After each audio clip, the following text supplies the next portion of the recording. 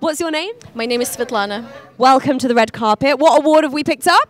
So, the Scottish Woman of the Year. Oh my goodness. So you've come all the way from Scotland for these awards? I did. All the way on the train. Did that take a long time today? About four or five hours.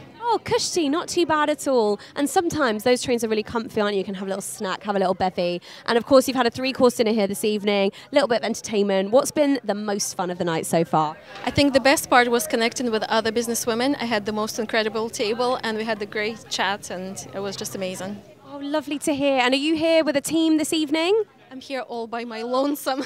oh my goodness, all on her own, all the way from Scotland. Well, thank goodness it's been so worth it. So I'm taking this one for the team, for all the ladies who work with us. Right. And yes, I'm just so grateful for their support.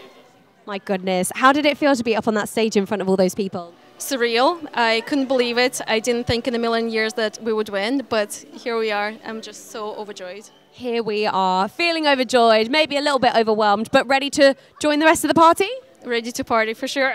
All right, I'll let you get back to it. A huge congratulations. Well done.